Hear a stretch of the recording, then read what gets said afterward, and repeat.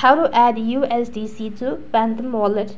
Hi everyone. Welcome back to another episode. In this video I'm gonna let you know the ways to add USDC to Phantom wallet. So in order to add USDC to Phantom wallet you simply have to follow these steps. So what you have to do is you need to go ahead and log into your Phantom wallet first of all.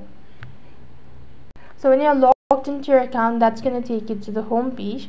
And while you're on this page you need to go ahead and tap on the search box and type in USDC when you locate that go ahead and press the buy button. Now you need to go ahead and enter the exact amount that you wish to buy and you need to go ahead and click on the buy button. On the other field you need to go ahead and add a payment method or the payment source and when you follow the prompt and just follow the prompt and you should be able to add USDC to Phantom wallet. So in that way you can add USDC to Phantom wallet. That's all for this video. I hope the video was helpful. Make sure like share and subscribe to our channel. Thank you for watching. See you in the next video